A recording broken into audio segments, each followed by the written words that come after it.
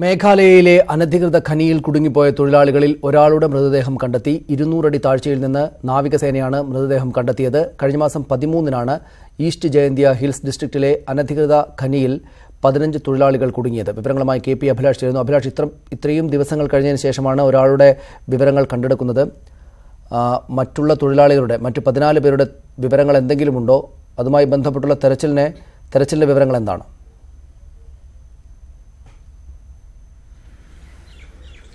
സനീഷ് കഴിഞ്ഞ ഡിസംബർ പതിമൂന്നിനായിരുന്നു മേഘാലയ അസം എന്നീ സംസ്ഥാനങ്ങളിലെ പതിനഞ്ചോളം തൊഴിലാളികൾ മേഘാലയയിലെ അനധികൃത ഖനിയിൽ കുടുങ്ങിയത് മുപ്പത്തിയഞ്ച് ദിവസം നീണ്ട തെരച്ചിലിനൊടുവിലാണ് ഒരാളുടെ മൃതദേഹം ഇപ്പോൾ കണ്ടെത്താനായിട്ടുള്ളത്.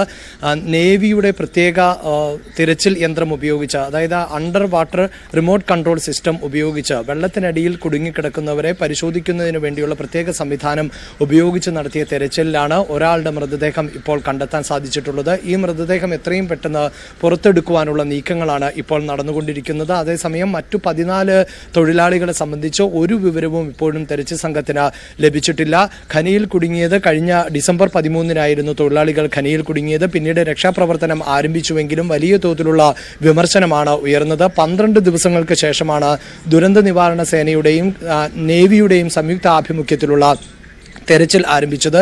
ഇത് തന്നെ വളരെയധികം സമയം വൈകിപ്പോയി എന്ന തരത്തിലുള്ള ആരോപണം നിലനിൽക്കുന്നുണ്ടായിരുന്നു. പ്രത്യേകിച്ച് ഖനിയിൽ കുടുങ്ങിയ തൊഴിലാളികൾക്ക് ആവശ്യത്തിന് ഭക്ഷണമോ വായു സഞ്ചാരമോ ലഭിച്ചാൽ പോലും പന്ത്രണ്ട് ദിവസം എന്നത് മാനസികമായി ഈ തൊഴിലാളികൾക്ക് ഏറെ സങ്കീർണതകൾ സൃഷ്ടിക്കുകയും ആ മാനസിക നില പോലും മരണത്തിന് കാരണമാവുകയും ചെയ്തേക്കാം എന്ന തരത്തിലുള്ള നിരീക്ഷണങ്ങൾ ഉണ്ടായിരുന്നു അത്തരം വിമർശനങ്ങൾ നിലനിന്നതിന് നിലനിൽക്കുമ്പോഴായിരുന്നു ഊർജിതമായ തെരച്ചിൽ ആരംഭിച്ചത്. എന്നാൽ ഇത്തരത്തിൽ തെരച്ചിൽ ആരംഭിച്ചിട്ടും ഒരു മാസം പിന്നിടുമ്പോൾ പോലും മൂന്ന് ഹെൽമറ്റുകൾ മാത്രമായിരുന്നു തെരച്ചിൽ സംഘത്തിന് കണ്ടെത്താൻ സാധിച്ചത്. കാരണം ഈ ഖനി സ്ഥിതി ചെയ്യുന്ന ജയന്ത് മേഖല അതായത് ജയൻ ഈസ്റ്റ് ജയന്തിയ ഹിൽസ് ജില്ലയിലെ അനധികൃതമായ ഖനിയിലാണ് തൊഴിലാളികൾ കുടുങ്ങിയത്. ഇവിടെ ഖനന പ്രവർത്തനങ്ങൾ ദേശീയ ഹരിത ട്രിബ്യൂണൽ അടക്കം നിരോധിച്ചതാണ്. ഈ ഖനിയാകട്ടെ ഏതാണ്ട് നൂറ് മീറ്ററോളം താഴെ ഭൂമിയിൽ നിന്ന് ഭൂപ്രതലത്തിൽ നിന്ന് നൂറ് മീറ്റർ താഴെയാണ് ഈ ഖനിയിൽ ആളുകൾ ജോലി ചെയ്തുകൊണ്ടിരുന്നത്. അത് തന്നെയാണ് തെരച്ചിലിനെയും രക്ഷാപ്രവർത്തനത്തെയും ഏറെ സങ്കീർണമാക്കിയത്.